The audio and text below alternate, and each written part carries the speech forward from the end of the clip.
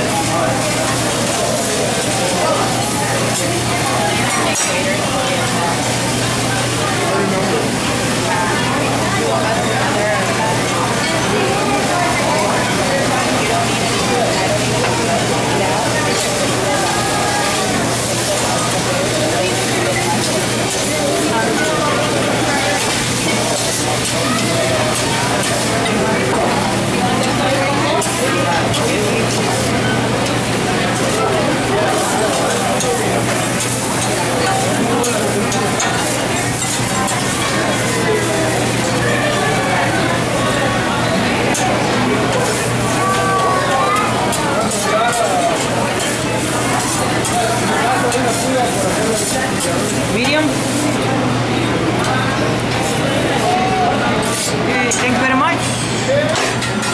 And you're tonight. Thank you very much.